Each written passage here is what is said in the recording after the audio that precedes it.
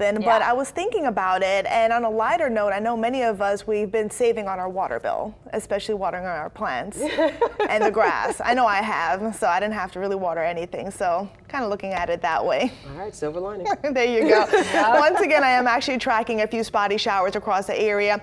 The radar pretty active, light showers in nature. I'm not tracking any heavy downpours, and I do expect most of the shower activity to wrap up soon. Plenty of cloud cover, and we have the winds out of the southeast, so that is aiding to the moisture in the atmosphere. We have that tropical moisture or the moisture from the Gulf that's going to sit over the area well into the weekend. So as we get those scattered showers and storms starting to develop across the area once again tomorrow and heading into the weekend, a few of those showers and storms may produce heavy rainfall just like what we saw today. So taking a look at the rainfall totals so far for the month of July, a little over nine inches of rain. The normal is a little over three inches. So uh, that's incredible. We're already above average and we're only halfway through the month. Now taking a look at the year, Starting January 1st, 60.17 inches of rainfall so far only halfway through the year, and we're we are well above uh, the average here. We're 24 and a half, and we have so much more to go. It's just incredible how much rain we've been receiving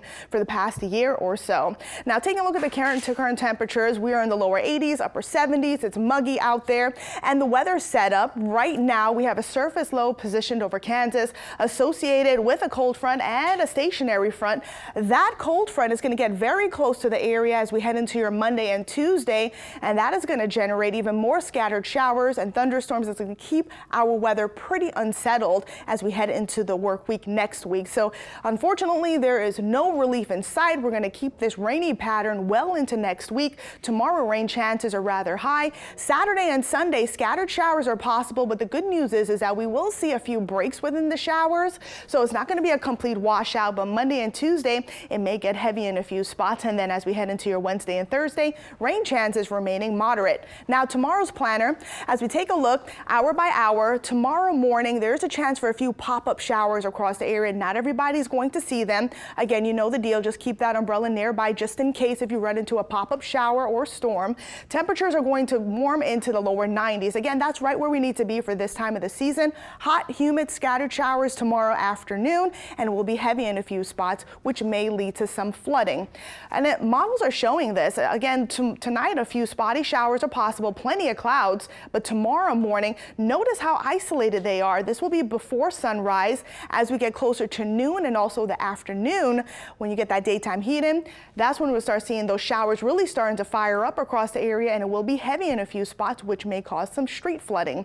Friday night looks fairly quiet. Can't rule out a stray shower or so. Plenty of clouds across the area and Saturday starting off with mostly cloudy conditions. A few pop-up showers along the coast possible possible. Saturday afternoon, once again, those showers starting to pop up and fire up across the area, producing heavy rainfall. So keep that in mind if you have any plans. At least we'll see a few breaks here and there.